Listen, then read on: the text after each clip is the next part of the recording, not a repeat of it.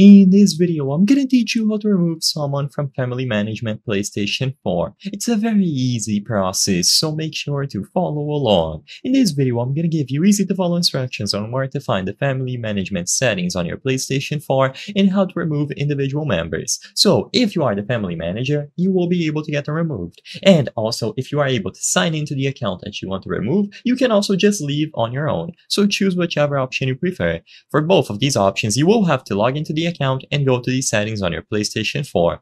Go over to users and accounts and then access family management. Once you go over to the family management settings on your PlayStation 4, choose the specific member that you would like to remove. When you select a specific member, one of the options should be Remove Family Member. Now, if you choose this option, you will be able to revoke their access to all shared content and services within the Family Management group. Consider discussing this with them first, and if you are the family organizer, you will be able to get this process done and remove them. Like I mentioned, if you are the one who is going to be removed, you can also just sign into your own account and then just leave on your own, regardless of which option you choose, either by going over to your family manager account and you remove it from there, or you sign into the account that is going to be removed.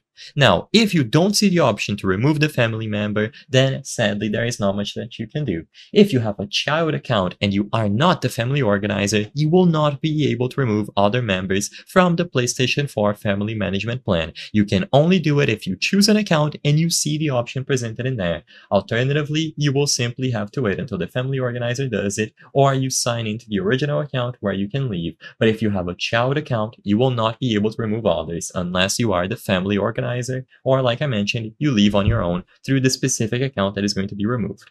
I hope I was able to help you on how to remove someone from family management on the PlayStation 4. If this video helped you, please be sure to leave a like and subscribe for more very easy tips. Thank you for watching.